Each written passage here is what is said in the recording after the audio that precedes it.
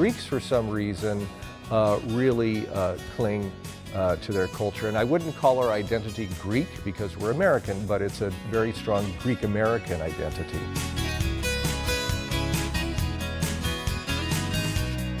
Alexander's father, George Payne, orchestrated a successful event. I thought, oh, this is fun because everybody, the Greeks were having fun out there dancing, had looked like in a family affair. I couldn't concentrate on nothing. My whole focus was getting the car back. Me and my dad's car, and uh, it just meant the world to us. I think of the little kids that will get a bear. Hug-A-Bears are given to children to love on when they're in distress. We don't see where they go, but we have it in here, you know. From 3 News Now and the Omaha World Herald, this is Omaha Sunday Morning with Jennifer Griswold. Good morning and thanks for joining us this Sunday. I'm Jennifer Griswold. It's been a big week for kids and parents as nearly all local schools are now back in school. Most Omaha Public School students return to class on Wednesday. For some, jitters turn to smiles thanks to a warm welcome and a special send-off into the new school year. 3 News Now reporter Shante Passmore takes us in the classroom. A soggy Wednesday morning can't dampen the mood at Mount View Elementary School. Dressed to the nines, on standby, is a small army of greeters. How you doing? Every child, You good? every car door Hello. is met with a smiling face from Willie Hamilton. Good morning. And a reminder We gonna learn today. People say words don't matter. I disagree with that. So much so, the Black Men United leader rallies dads, granddads, uncles, you name it, to make sure these kids feel welcomed, encouraged, ready to conquer this school year. Hamilton even asked women to get in the game. He never expected this. New superintendent, Dr. Cheryl Logan, I didn't, I didn't think he was coming. I, I surprised you. dropping in and amping up the school year kickoff. It was nice to see her out here. She brings such energy and excitement.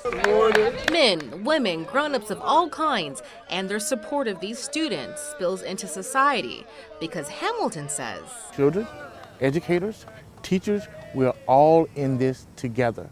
It's a reflection of the kind of world we all want, one with kindness, motivation, and plenty of smiles. Ah, And everyone can help make a difference. Research shows that when dads and other father figures are engaged in their children's education, student grades and test scores increase. Many dads signed a pledge to volunteer 10 hours at their child's school over the course of the year. A new school year meant emotions ran high for many area parents. I have to include myself on that list as my three-year-old son Jack started preschool. You can see he was all smiles, but I have to admit, I drove around to school after dropping him off just to see if I could get a glimpse of what he was doing. Proud of that kid.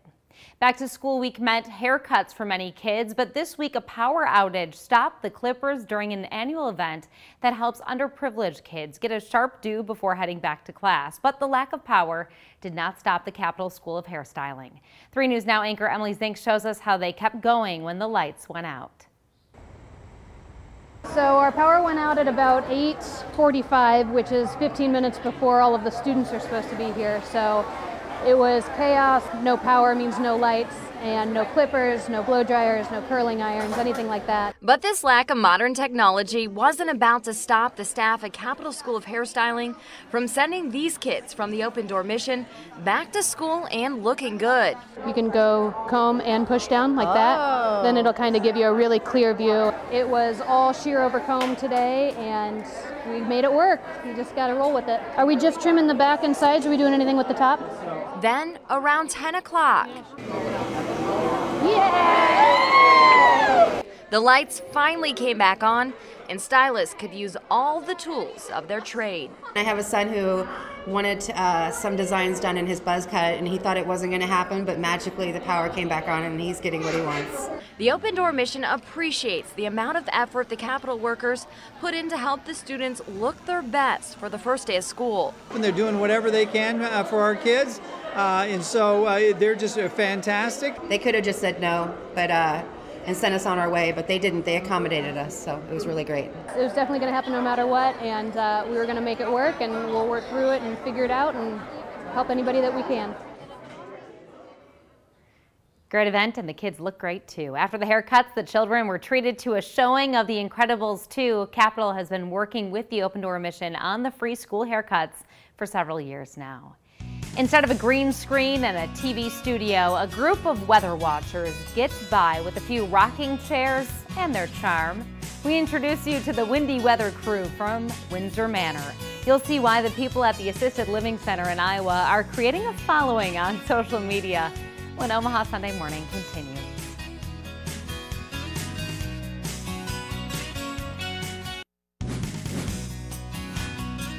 Folks who live at an assisted living community in southwest Iowa are gaining some online fame by posting videos talking about the weather and adding a lot of wit. Meteorologist Audra Moore went to Shenandoah, Iowa to meet the weather crew and see what kind of stories they're telling. And what did you say the wind velocity was? Where are you going? The crew is made up of three residents Marjorie Wright, Russell Hilker, and Kenneth Mathis, and they are full of laughs and witty words.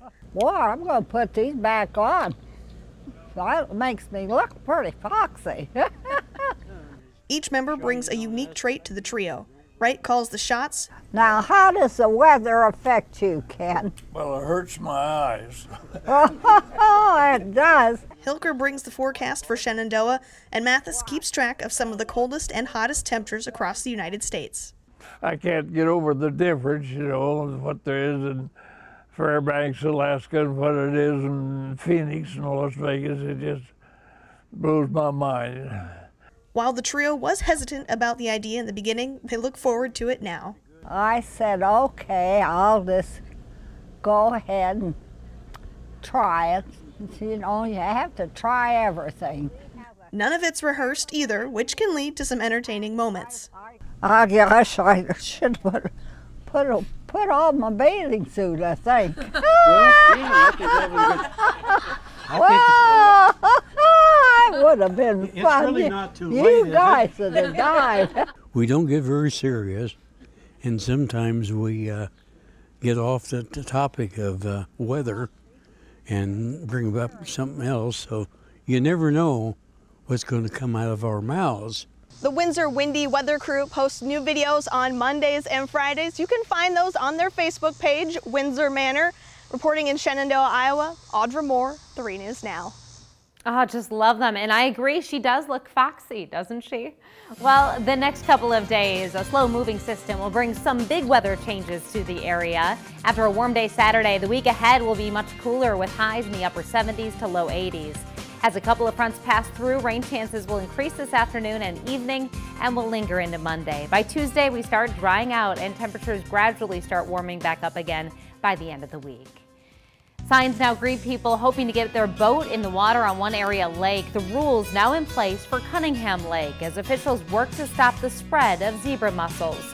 How they're dealing with the problem next on Omaha Sunday Morning.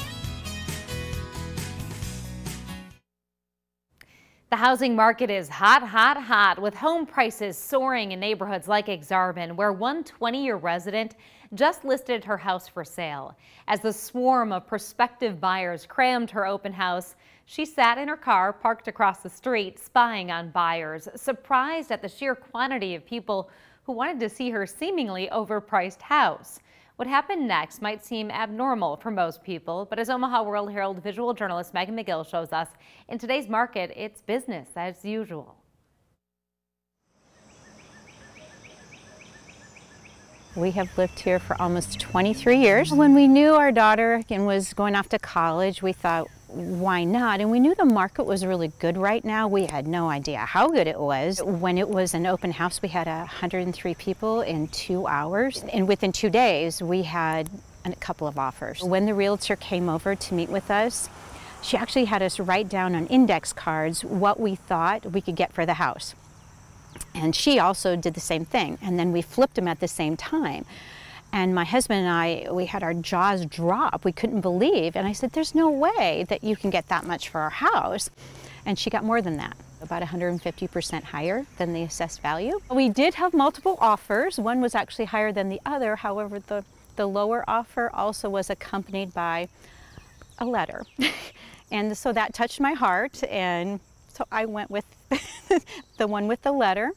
Uh, she painted the picture of what she saw in this house and so I went with that. Unfortunately, the first person that we did accept the offer she had to back out. So the other offer, our realtor went back to them, and so they were our final offers. Yesterday we brought the kids back over because there is a hydrangea that we planted. Our kids have every first day of school picture taken in front of that hydrangea. So we had to bring them back yesterday and take one final photo. It's the only house that they've ever known, so absolutely they're very connected. It was just everything was the right time.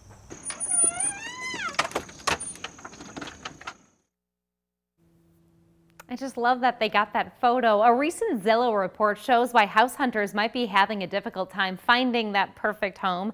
The report found the U.S. is actually short more than 6 million homes in the market across the country. The leisure of boating on one area lake came to an end this week. It's all due to the arrival of invasive zebra mussels. The pests were found at Lake Cunningham. The Omaha Parks and Recreation Department says the lake's boat ramps are closed for the rest of the year. Owners of boats currently docked at Lake Cunningham have until mid-September to get them out of the water. No new boats will be allowed on the lake. State park officials say it only takes one mistake for zebra mussels to get from one place to another can educate, you know, 99% of them, but if we have one guy that doesn't care or hasn't listened, um, you know, that it only takes one person. Zebra mussels spread like a virus, latching onto other things like kayaks or fishing lures as well. School is back in session and safety is on the minds of teachers, parents, and kids. We take you to a training session held by an area gun range and security firm aimed to prepare students in case the worst happens. That's next.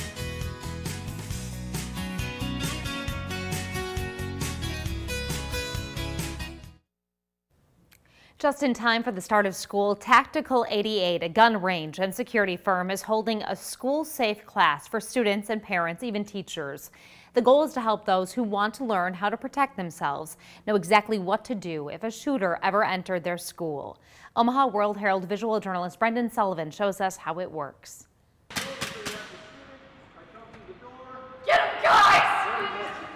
Someone's got now. Someone's got to come after my gun. There's a window of opportunity. There we go. Ask for help. Ask for help. Ask for help. Help! Help! Help! We got him. All these schools say that you shouldn't fight. You just got to sit in the corner. Well, if you sit in the corner, I'm just gonna give it to you straight. You're just gonna die. Or, or, become hostages, inconveniencing the police.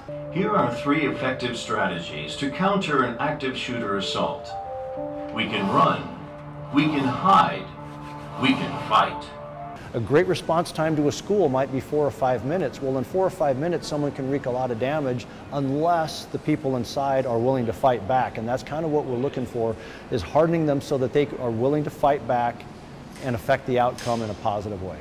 I'm a teacher and I will not be a victim and I will do whatever it takes to protect my students in my class. And so this class provided me with tools and strategies that I can use that are more proactive in helping keep my students safe.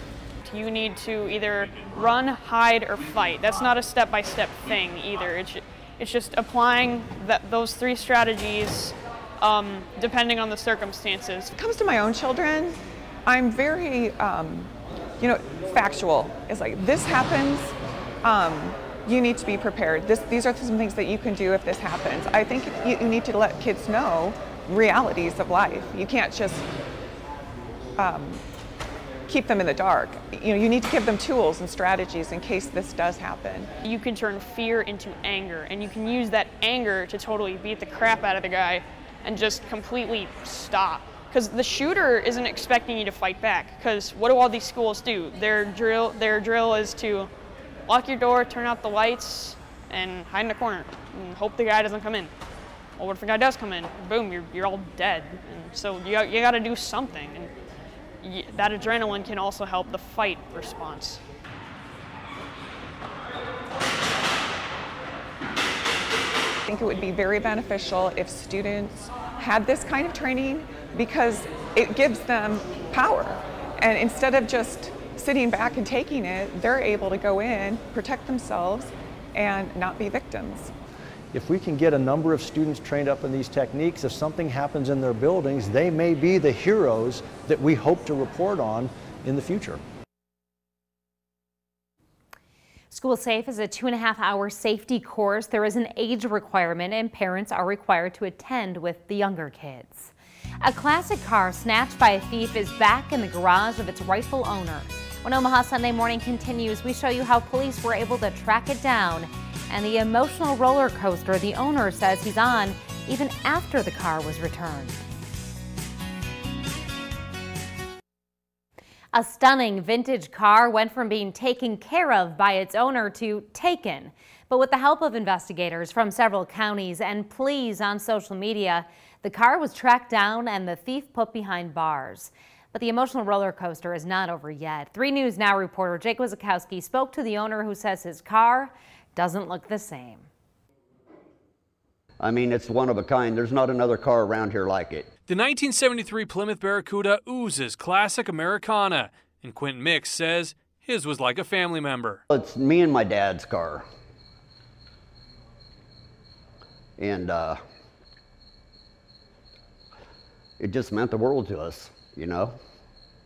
On August 4th, Mick went to his Bellevue RV shop to get it ready for a car show to find the CUDA had been stolen. This here's the hole that they cut in the back of my shop to get in to take the car out. Mick and his daughter took to social media to get the word out. Dozens of shares later, it was spotted in Lincoln, Council Bluffs, and Fremont. I couldn't concentrate on nothing.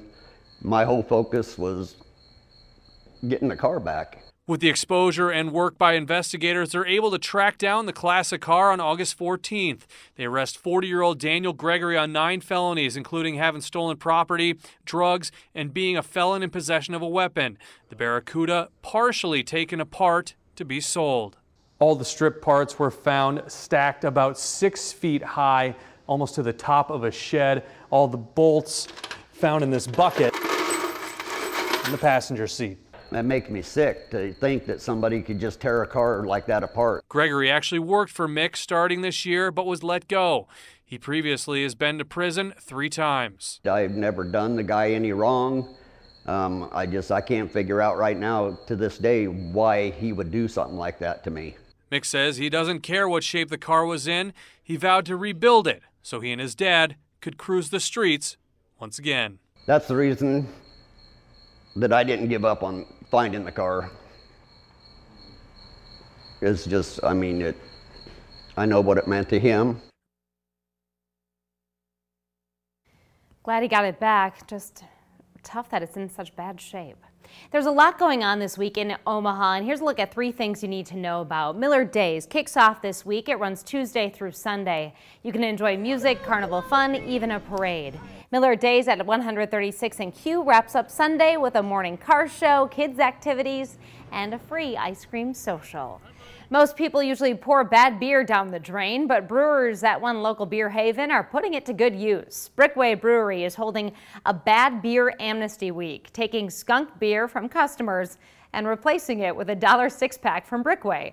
There's also a number of activities planned for the week, starting with a kickoff party today featuring beer bingo. One of Omaha's oldest neighborhoods is getting ready to celebrate its history. The annual Dundee Days Festival kicks off on Saturday with an underwear run through the neighborhood to promote healthy living. Afterwards, there's a pancake breakfast and thousands will fill the streets for the Dundee Parade. The night wraps up with a concert and beer garden. Omaha's Greek Festival is serving up all the baklava and gyros you can handle this weekend, but the annual event has a Hollywood tie you might not know about. We sit down with an Oscar winner who's hoping you enjoy all things Greek this weekend. Exploring ESP. Plus, are these the smartest animals? Mind Matters. Sunday morning. No, come on down to the Greek Festival and have a good time. Alexander Payne, Omaha, an Oscar winner, director, writer, some of the words you probably think of when you hear his name. But recently I sat down with the acclaimed movie maker to talk about something else entirely. Instead of an upcoming movie, you just heard it, he's promoting Omaha's Greek Festival. He explains why the event is so near and dear to his heart. Well, I'm proud to say that my father, George Payne, uh, now deceased, started the first Greek festival in Omaha in, I think, 1978. Might have been 79, but it was right around there. Alexander's father, George Payne, their family name was originally Papadopoulos, orchestrated a successful event. And we had at the time an extremely charismatic Greek priest who was master of ceremonies for all the the uh, dancing and the music and uh, encouraging people to, you know, pull their wallets out and, and spend, and spend they did. Decades later, these women put in the hours in the kitchen at St. John's Greek Orthodox Church between Park Avenue and 30th Street in Omaha. The fabulous food, rich in flavor and tradition, along with cultural performances and a sense of community, lured Betty Chin to the Greek Orthodox Church years ago. Alexander Payne's mother, Peggy, is her godmother. I thought, oh, this is fun because everybody, the Greeks were having fun out there dancing, having like in a family affair. Greeks, for some reason, uh, really uh, cling uh, to their culture. And I wouldn't call our identity Greek because we're American, but it's a very strong Greek American identity. Payne also travels to Greece often since his wife is from there and they have a young child. You know, I'm Greek from Omaha and I married a Greek from the factory. Um, yeah, I pretty much will spend every summer uh, of my life in Greece, and there are worse fates. Of course, he also chooses to spend a lot of time in Omaha. Omaha has blossomed into the city we hoped it might, but weren't very optimistic about. His most recent film, Downsizing, premiered at the Dundee Theater. The main screen is named after his mom, who still lives in Omaha. A man who is adding culture to his hometown. Sounds like Alexander Payne learned something from his Greek festival founding father. Omaha is not becoming like any other city. I think what's beautiful about Omaha is it's able to incorporate influences from outside but turn it into its own Omaha variety. Omaha keeps its soul. And there's still time to check out the Greek Festival. It runs all day today. It's inside and outside St. John the Baptist Greek Orthodox Church. They do have a tent in case of rain. The search is over after a beagle puppy was dog napped while being seized by the Nebraska Humane Society. The dog hunt lasted for almost two weeks before the dog was finally found. 3 News Now reporter Jake Wasikowski has been following it since the beginning and was there when Lucky finally made her way back to her owners. From the looks of it, Lucky, the four month old beagle, is back to her old tricks a ball of energy and a bark to boot. But two weeks ago, she was snatched right out of the back of a Nebraska Humane Society van near 40th and Seward. The tenants were being evicted, and animal control was seizing four dogs because the owners weren't home. Neighbor Dan Cooper caught it all on camera. His quick thinking helped get the dog home. I'm just glad they found the dog, and I was glad they were able to, my help brought the dog back to the owner. The Humane Society says a tip that came into police pointed them in the right direction to locate Lucky. They wouldn't reveal where the dog has been and say the owner doesn't want to speak on camera. Well, we're thrilled to find Lucky. The owner's been distraught, obviously, when the dog was stolen. We took it somewhat personally at the Humane Society because it was stolen out of our truck. So our investigators did a great job this week, knocking on doors, shaking the bushes, talking to people, resulting in this dog being brought to us yesterday by a source that's going to stay anonymous. The Omaha Police Department is investigating and wouldn't say who the suspect is or what the motive was. Police reports indicate the suspect was there before NHS pulled up to get the dogs on August 3rd, and the landlord's son was not cooperating with investigators. The Humane Society says they've spoken to their officers about securing their vehicles and it won't happen again. They also say Cooper's quick work was also a big help. You got something on camera, it can help a lot. I mean, it shows what happened. You just, otherwise, you're just saying, well, I saw this happen when you have on on the video, you can say, well, this is how it happened. The Humane Society says they will be paying out that $1,000 reward for the tip that led to the location of Lucky. Reporting from 90th and Fort, Jake Wasikowski, 3 News Now. So glad she's okay and what a ball of energy. Well, they are cute and cuddly and carry a big responsibility to cheer up kids going through a tough time. To date, more than 40,000 handmade stuffed bears have been donated to numerous charities around the area since 2000. And it's all because of some faithful volunteers. Morning anchor Emily Zink gives us a look inside the Hug-A-Bears operation. I'm 87 years old, but Steve won't let me retire. Steve Dawkins runs a tight ship. When he's 96, I'll let him go. The man who sits at the head of the table Well, I guess I'm commander in chief. isn't actually all that intimidating. Without Steve, it wouldn't go. His heart is as soft as the Hug-A-Bears he makes. We don't see where they go, but we have it in here, you know. And you want to cry, but you hold it back, you know. Hug-A-Bears are given to children to love on when they're in distress. They're delivered to area hospitals and fire stations. Now think of the little kids that will get a bear. Alzheimer's patients also receive bears. Each one is cut from a template, sewn together, and stuffed with donated material from 3M. All of this is done by volunteers. We started at the plant doing it, and then we moved out here when we didn't have a place to go. Hug-A-Bear started decades ago as a community service project in the basement of Western Electric. If I get there, I'll be fine. Now retired, many of the former employees have followed the volunteer operation to a donated space at Maple Ridge Retirement Community. But it's not all work. Tell jokes. The Tuesday volunteer sessions are more like social time, It's just pleasure. It's just we look forward to coming. Even with lots of laughter Yeah. and the occasional snack break. We always got something good to eat and drink. This group is efficient. And I have a number over here of 43,000. So far, thousands of bears have been made. It's an ever growing project that needs more volunteers. I just wish every seat was taken, all the way down both sides. Dawkins says, Come on down. You'll be hooked on Hug-A-Bears just like him. I'm going to retire when it's 80,000.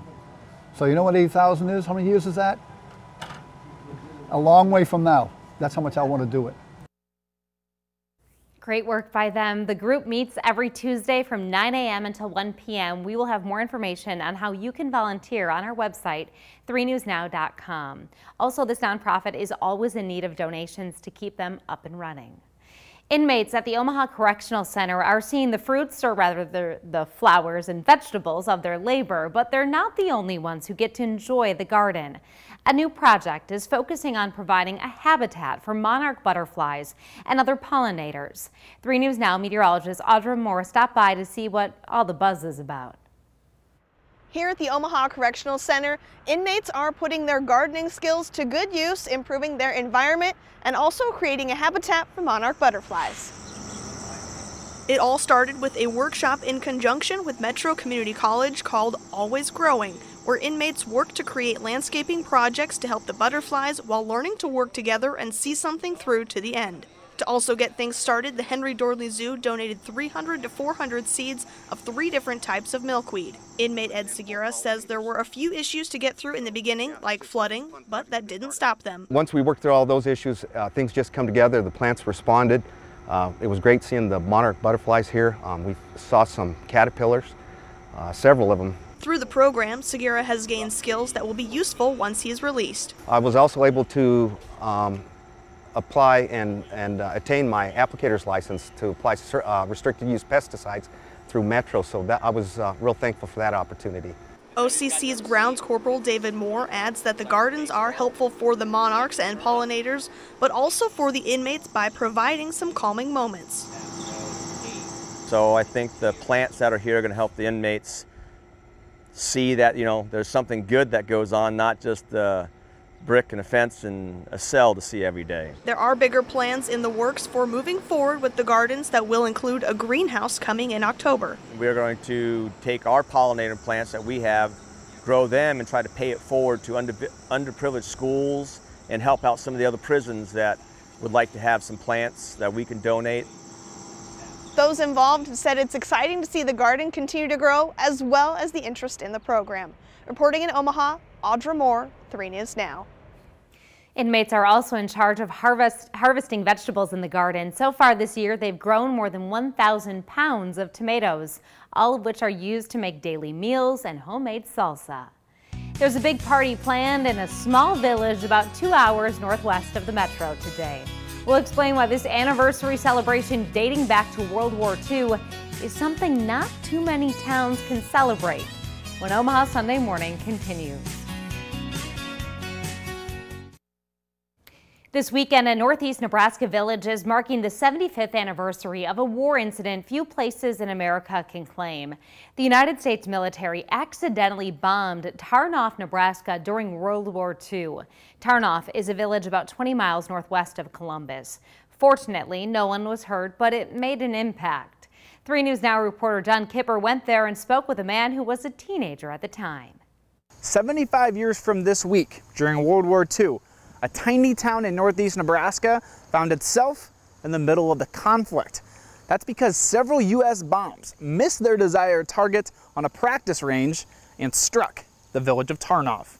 Norbert Cesar was 13 years old and asleep when his mother woke him up around 4.30 on August 16, 1943. His house was seemingly under attack. I guess we was scared that there was something that could have killed somebody because my two sisters was about six foot away in bed. Seven practice bombs fell on the town after pilots missed a bombing range nearby. A few of those hit this house, including one through the roof. Still could see the fins, but that's about all you could see because it was all smashed. Nobody in the house or throughout town was hurt, but the county sheriff did clear the town while the military investigated. Now, 75 years later, a party is being thrown in Tarnov to remember the accidental assault, with hundreds expected to show. There's only, I think, two or three cities that something like that happened, and uh, to be this small of a town with that kind of a distinction, I think it's really great, and it's what put us on a map, and I think it keeps us there too. Caesar is now one of three people, including his sister, that recall the bombing. He says at the time, even the national news talked about the sleepy town of around 60 in fact, his brother in the military even found out. He was out in California, and my mother sent a telegram or whatever, and he knew about it before he got the telegram. Now, while they did help out a little bit, the U.S. government never fully reimbursed the family for the damage that they did to this house. In Tarnov, John Kipper, 3 News Now. What a crazy story. Today, the town is commemorating the 75th anniversary of that incident. There will be a variety of events, including a mass at 10 a.m. Other events throughout the day, there will be a beer garden, Vietnam Wall display, raffles and games, and a scavenger hunt. It's an annual tradition for high school athletes, an elite team made up of the best of the best in high school football. Up next, we go behind the scenes of the Super Six photo shoot. It's an annual tradition for high school athletes. This season, the 2018 version of the Omaha World Herald Super Six high school football team may be one of the most talented groups ever. All six honorees will play major college football next season. Omaha World Herald visual journalist Megan McGill takes us behind the scenes for a look at some of the best players Nebraska and Western Iowa have to offer. Look away slightly and hold the chin. Usually the awkward smile, like I kind of want to be here, but I don't. I think the smile says everything.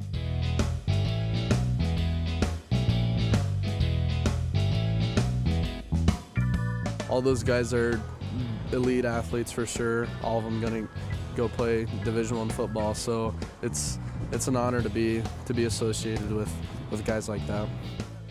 You guys can look at each other. The kid taking a good picture is me just being in it. I mean, he, hey, every picture's got to be good when I'm in it.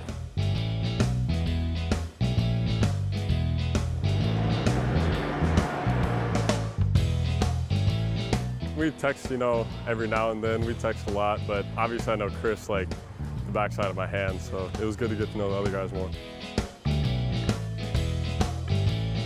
The most photogenic person of the group, I think, is Garrett Nelson. He's always brings a kind of the X factor when it comes to modeling, but he, he's a pretty he's a pretty great guy and just has a lot of energy. The most photogenic, that'd probably be Max, the quarterback, pretty boy. He might be ginger and has freckles, but he has a nice flow and a comb over to it. And it's just like, it doesn't move. The wind, I saw him, I looked at him during the picture and it was just stuck. And I don't think he puts any product or anything in it either. It's awesome, just the relationship being built. I mean, I knew some of those kids, but you know, that was the first time that a little bit of them, but you know, we're all we're all kind of the same people. We can all relate. You know, just being recruited and being uh, playing high school football. I think it was awesome, just uh, getting to know him and building that relationship. The funniest would probably be Garrett. The funniest looking would probably be Nick. Chris's hair is terrible.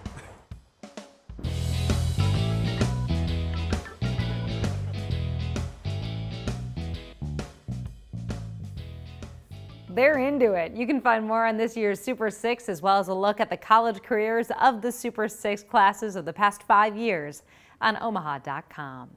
Between Twitter, Facebook, and apps for everything, there's a number of ways to find out information. But editorial cartoonist Jeff Koterba is tackling the tough topic of sorting fact from fiction. That cartoon coming up. What has forced 1 million children to be raised by their grandparents? She's had to sacrifice almost everything. The deadly opioid epidemic. 60 Minutes tonight. This Sunday morning, Mind Matters. What makes a genius? Actress Glenn Close on mental illness. And are there animals smarter than we are? Listen for the trumpet.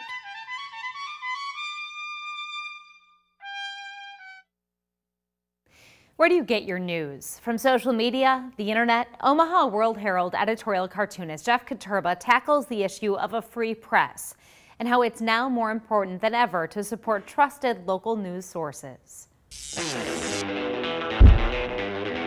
I'm Jeff Koterba. I am the editorial cartoonist for the Omaha World Herald. The other day I was sitting at a bar minding my own business and maybe doing a little eavesdropping on a conversation. Call it reconnaissance. Oh, and for some of you, I was sitting at the bar drinking a cappuccino with almond milk. And for others, I was drinking a gin martini up with blue cheese olives. Mmm. Anyway, these two guys were talking about social media, and the one guy was saying he gets all of his news from Facebook. Ah, the other guy freaked out, or maybe that was me freaking out. That's when I jumped into the conversation. Turned out the first guy was joking, I think. In fact, he said he has a subscription to the World Herald. I was relieved and thanked him for subscribing and almost bought him his cocktail, I, I mean his coffee.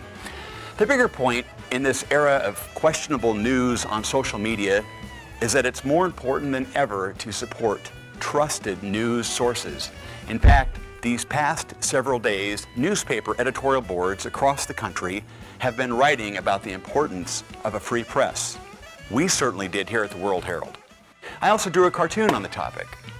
All this in response to the negative things said by the current occupant of the White House, like how he called the media the enemy of the people, and how he has described the press as fake news. Sorry, Mr. President, but that's not the case. Granted, as the World Herald editorial points out, the nation's press is a human institution and sometimes humans make mistakes. And yes, you have to be a smart consumer of the news, using your noggin, being a critical thinker. But by and large, the journalists I know work tirelessly to tell the truth and present just the who, what, when, where, why, and how of the day's news. So no matter what, please don't rely on Facebook as your main source of news, unless, of course, you're clicking on the link that takes you to the Omaha World Herald, in which case, I hope you'll subscribe. And I may even buy you that cappuccino.